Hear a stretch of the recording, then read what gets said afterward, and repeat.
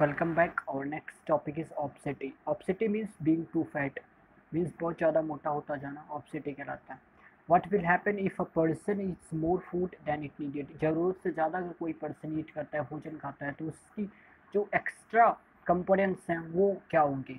What will happen to the excess food जो excess food है, जो पर अतिरिक्त भोजन है, उसका क्या होगा? Excess amount of nutrient mostly get stored as fat जो एक्सेस अमाउंट ऑफ़ न्यूट्रिएंट्स हैं, वो स्टोर हो जाते हैं as a fat and store under the skin और वो स्किन के नीचे जो है स्टोर होता है। This increases the weight of the body thus if we if you eat more than you need over the years और एक लंबे समय तक आप ज़रूरत से ज़्यादा भोजन करते हैं यू विल बिकम ओवरवेट तो इससे आप ओवरवेट हो जाएँगे। इट काजेज ऑब्सिटी और इस मोटेपन को, इस ज़रूरत से ज़्यादा भोजन खाने से जो उस न्यूट्रिएंट्स है उनका स्टोर हो जाना स्किन के नीचे ऑब्सिटी क्रिएट करता है। ऑब्सिटी का काज बनता है। So if the amount of energy we take in is more than what we use up, the extra food is stored as fat. Being too fat is not good for us because क्यों अच्छा नहीं? क्योंकि एक तो इस body को वो बहुत ज़्यादा पेट लेके चलना पड़ता है, इसको एनर्जी बहुत ज़्यादा लगती है। और हमारा जो हार्ट होता है, उसको भी ज़्यादा एनर्जी लगती है। क्यों? क्योंकि हार्ट को एक बहुत बड़े रीजन में जितने मोटे होंगे, आप उतनी बड़े रीजन में ब्लड को पंप करना होता है। जिससे जो हार्ट है, उस पर ज़्यादा वर्कलोड पड़ता है।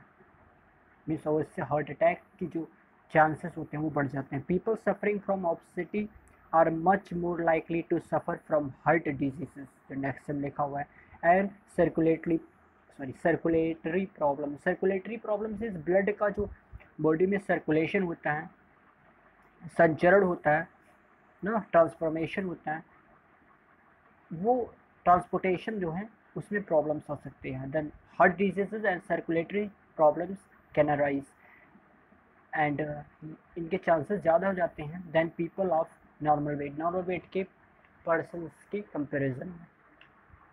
माल न्यूट्रिशन किसे कहते हैं? इसके अपोजिट में the next condition is malnutrition की, जिसमें न्यूट्रीशन की ब्लैकनेस होती है मीन कमी होती है।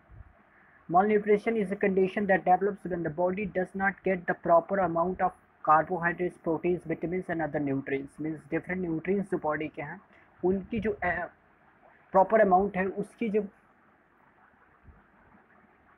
पूर्ति नहीं होती है बॉडी को तो वो क्या होता है? उस कंडीशन को क्या कहते हैं? मॉल न्यूट्रिशन मॉल न्यूट्रिशन की कंडीशन अराइज होती है उस समय।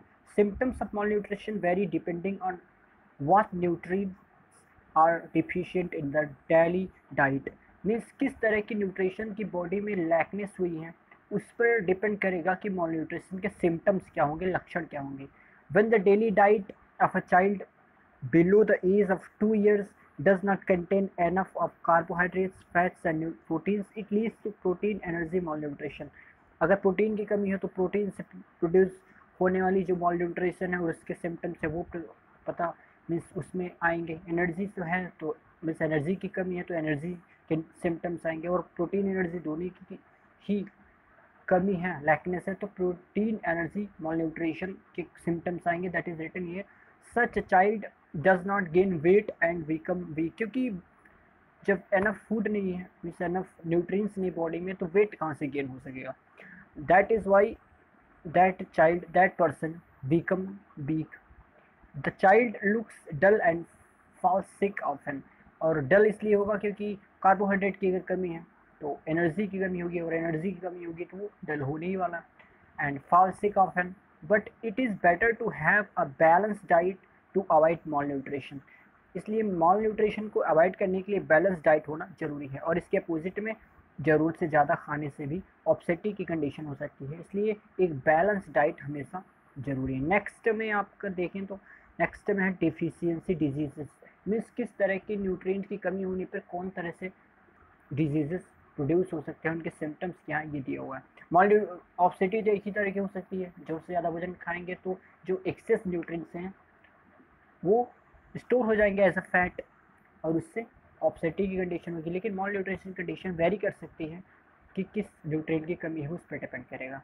Than deficiency diseases diseases cause due to deficiency of certain nutrients in our body are called deficiency diseases let discuss about deficiency diseases deficiency diseases के बारे में discuss करते हैं। कौन कौन से हो सकते हैं डिफिशियंसी डिजीजेस पहला प्रोटीन डिफिशियंसी डिज़ीज़ जब प्रोटीन प्रोटीन की हमारी बॉडी में कमी हो तो उस, उस तरह की डिफिशियंसी डिज़ीज़ कौन कौन सी हो सकती हैं? Deficiency of protein in the diet result in the development of diseases related to P E M mean protein energy malnutrition protein energy malnutrition से रिलेटेड डिजीजेस हो सकते हैं।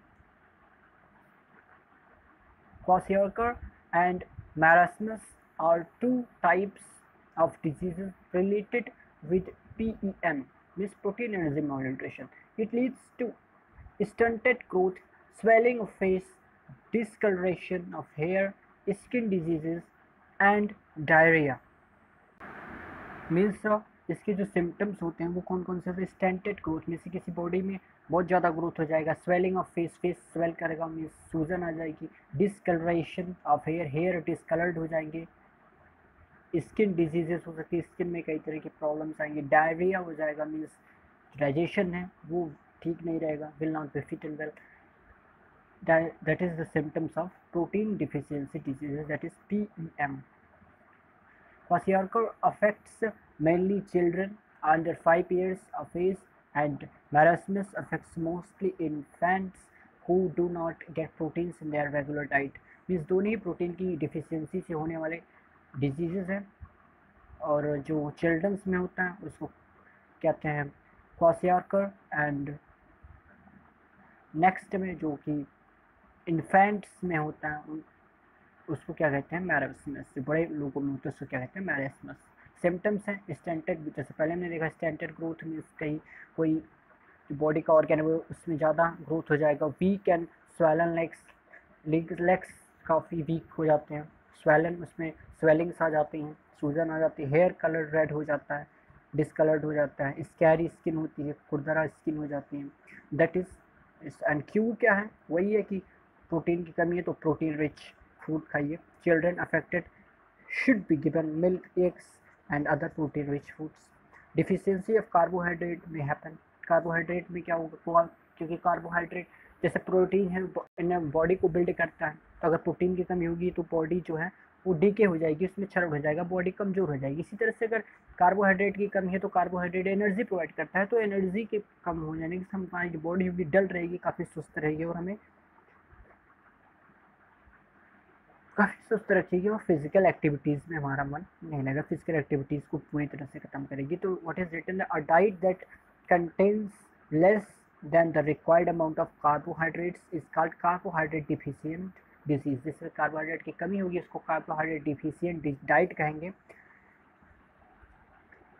If a person takes the carbohydrate deficient diet over a long period of time, he or she suffers from general weakness and lack of stamina stamina means जो क्षमता होती है work करने की एनर्जीफुल वर्क को करने की जो कैपेबिलिटी होती है, उसको कहते हैं स्टेमिना उसमें कमी आएगी। तो स्वभावतः जब हमारे कार्बोहाइड्रेट की कमी होगी तो एनर्जी की कमी होगी तो स्टेमिना में कमी होगी।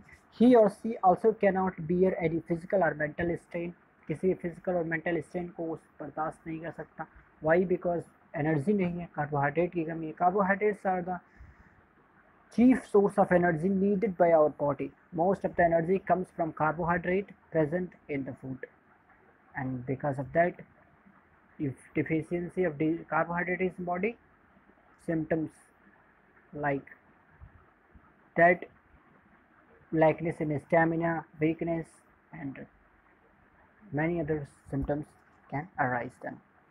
Next, uh, minerals deficiency diseases minerals जो कि आयरन्स हैं आयोडीन्स हैं ये सब अगर हमारे बॉडी में कम तो उससे कौन कौन से पर्टिकुलर डिजीजेस हो सकते हैं? जैसे iron deficiency disease iron is necessary for making haemoglobin present in our red blood card cells lack of iron in the diet leads to deficiency disease called anemia.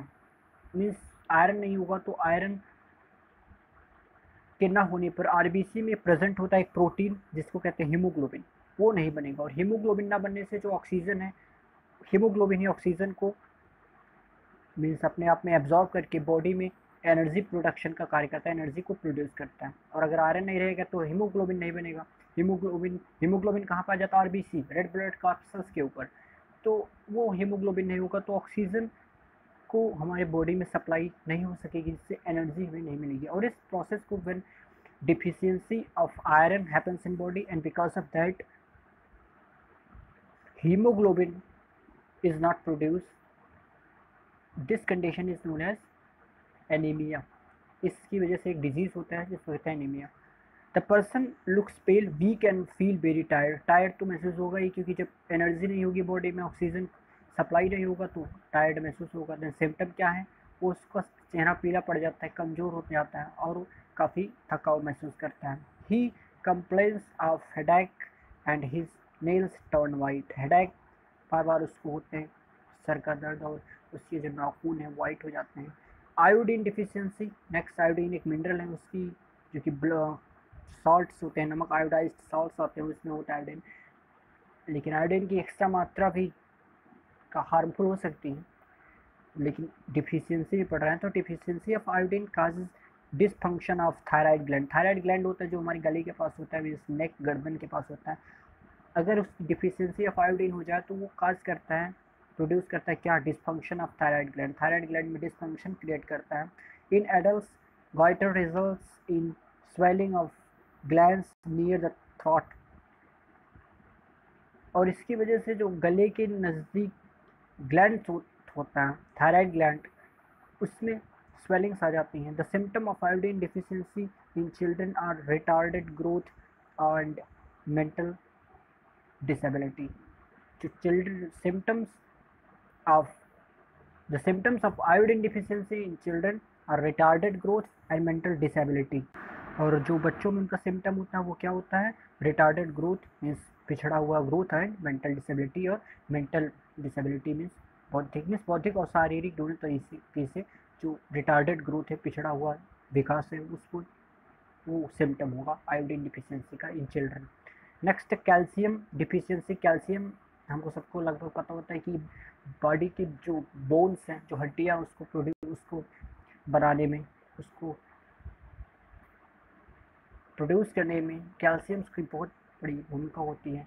And that is why if deficiency of calcium in our diet happens, then what can happen? It is written the deficiency of calcium in the diet makes the bones weak bone को कमज़ोर कर देता है। क्यों? क्योंकि body में जो present है बोन्स हैं, उनको रिपेयर करने के लिए रिप्लेनिश करने के लिए, उनको मेंटेन रखने के लिए कैल्शियम फास्फोरस दोनों की ज़रूरत होती है। कैल्शियम को यहाँ पर दिया हुआ है कैल्शियम डिफिशियंसी की बात हो रही है तो कैल्शियम डिफिशियंसी की वजह से हमारी जो बॉडी के बोन्स होते हैं वीक हो जाते हैं एंड ब्रिटल और कमज़ोर हो जाते हैं। It leads to a disease known as rickets एक एक तरह की डिज़ीज़ को पैदा करते हैं, जिसके रिकेट्स कहते हैं। The lack of calcium can also cause tooth decay क्योंकि जो हमारे दांत होते हैं, वो भी क्या है? हमारी बोन्स बोन्स का ही एक रूप है, वो हमारी हड्डियाँ ही। हैं और अगर कैल्शियम की डिफिशियंसी होगी तो टूथ डिके दांतों में डिके हो सकता है, क्षरण हो सकता है एक्सेसिव ब्लीडिंग हो सकती है फ्रॉम कट्स एंड वूंड्स चोट जब लगे तो एक्सेसिव ब्लीडिंग हो सकती है। ये सब सिम्टम्स है कैल्शियम डिफिशियंसी के। विटामिन जो कि कंपोनेंट है हमारे फ़ूड का उसकी डिफिशियंसी से कौन कौन से डिजीजेज हो सकती है, उसके सिम्टम्स क्या हैं, उसके क्यूर्स क्या हैं, इलाज क्या है, ये सब दिया हुआ है। विटामिन ए से लॉस ऑफ़ विजन हो सकता है विटामिन बी वन से बेरी बेरी डिज़ीज़ हो सकता है सी से स्कर्वी हो सकता है डी से रिकेट्स हो सकता है ई e से अर्ली एजिंग हो सकता है और के से डिलेड क्लॉथिंग ऑफ़ ब्लड हो सकता है। अर्ली एजिंग माने इसमें जो विटामिन ई e होता है, इसमें जो बहुत से लोगों के बाल सफ़ेद हो जाते हैं, काफ़ी कम उम्र में। वो विटामिन ई e की कमी से हो जाता है। देन विटामिन डिफिशियंसी से कौन कौन से डिजीजेस होते हैं, उसके सिम्टम्स क्या हैं क्योर्स क्या हैं, ये आपको होमवर्क में लिखना है। दिस इज़ टूडेज होमवर्क और इसके बाद चैप्टर ओवर होता है। नेक्स्ट में चैप्टर में जो इसमें एक्सरसाइजेज में दिया हुआ है solved in textbook question solve इन सबको आपको खुद से पढ़ना है। प्रैक्टिस टाइम के जो क्वेश्चन हैं, वो एक्सरसाइज में कराए जाएँगे। And chapter is over you have to read this chapter first and then this N C R T exemplar problems solve practice time जो है वो आपको कराया जाएगा प्रैक्टिस टाइम का जो एक्सरसाइज ओके